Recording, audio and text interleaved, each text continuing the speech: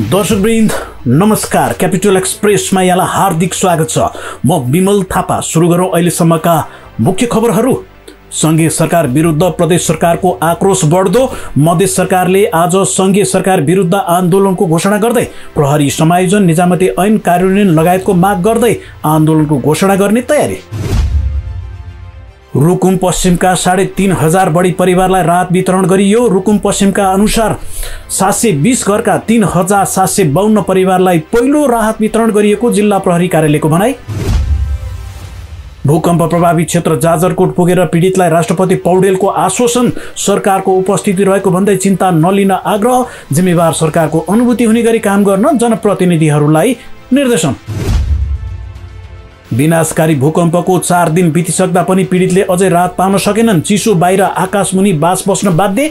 राहत वितरणमा पनि राजनीति भएको भन्दै पीडितहरू आक्रोशित।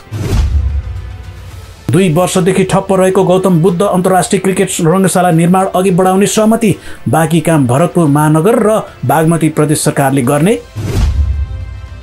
मानवीय सङ्कटलाई मध्यनजर गर्दै गाजामा अल्पकालीन युद्धविरामको सम्भावना रहेको इजरायली प्रधानमन्त्री नेता न्याउको भनाइ गाजाको सम्पूर्ण सुरक्षाको जिम्मा लिने पक्षमा इजरायल रहेको प्रतिक्रिया।